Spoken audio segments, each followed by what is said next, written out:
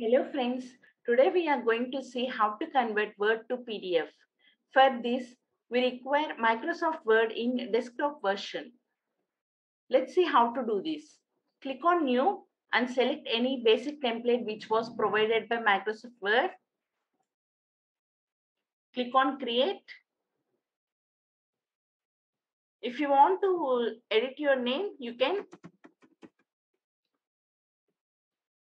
Go to File in the top, click on Save As, click on Browse.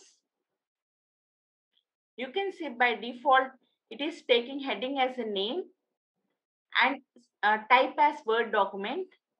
Under Save As type, we have many formats to save this document. Click on PDF. And I want to save this document on my desktop. Click on Desktop. Now click on Save.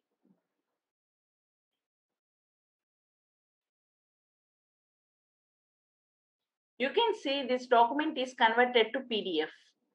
In this way, we convert Word to PDF.